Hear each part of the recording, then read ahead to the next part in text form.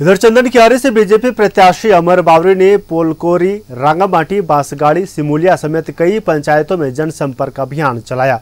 इस दौरान अमर बावरी ने गाँवों में पदयात्रा की और बाइक जुलूस के माध्यम से बीजेपी के पक्ष में वोट की अपील की।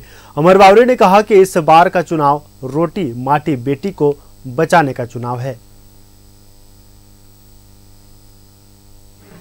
दिखला दिया है कि सरकार को हटाना है जो पूरी तरह से पाँच साल में झारखंड के लोगों को तहस नहस कर दिया, जिसने बांग्लादेशी घुसपैठियों के प्रेम के कारण, जिसने तुष्टिकरण के कारण, जिसने ठगी के कारण, जिसने यहाँ के युवाओं को ठग करके पूरा उनका करियर बर्बाद कर दिया, ऐसे भ्रष्टाचारी सरकार को खाड़ फेंकने का आगाज़ हो चुका है। 20 तारीख को फाइनल दूसरे चरण का